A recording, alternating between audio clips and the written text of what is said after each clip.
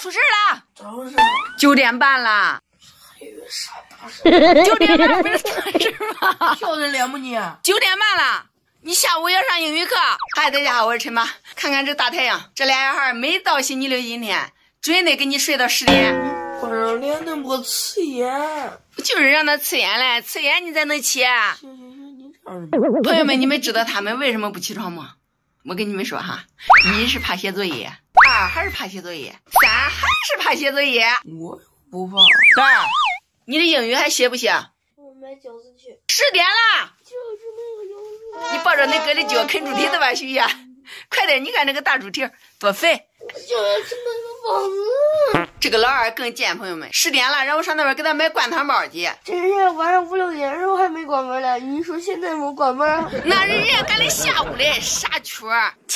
这是陈妈走的时候给我们熬的小米粥，还有这么多剩菜，今天我必须把他俩合捞起来。快起吧，你爸爸打电话了，说店里面忙了，让我去干活去了。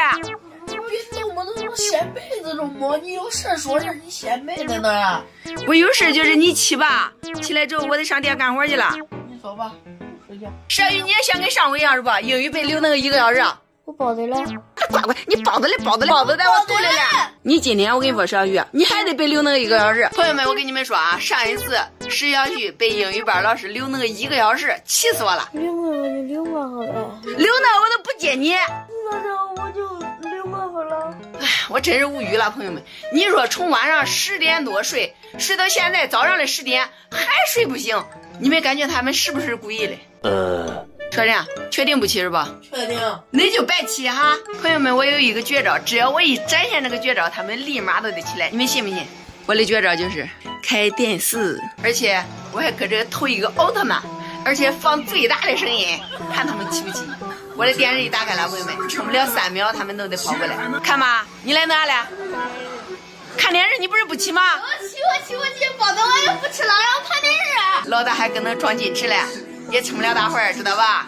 你不是说的困吗？看见吗，朋友们，这比写作业积极多了。眼镜戴好了，坐姿坐好了，就是为了看这个老头子。这个老头子有啥好看的吗？你给我说这样，啊？好看。你就喜欢老头子是不是啊，月？那你为啥要看老头子？看老头子看的这脑门都起疙瘩子了，知道吧？是个哦，少看老头子，多看美女，知道吗？美女在这儿，你要多看看我。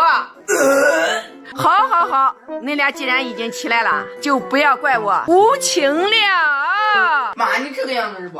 哎，别别别，睡觉去。说着，你要敢睡觉去。说着。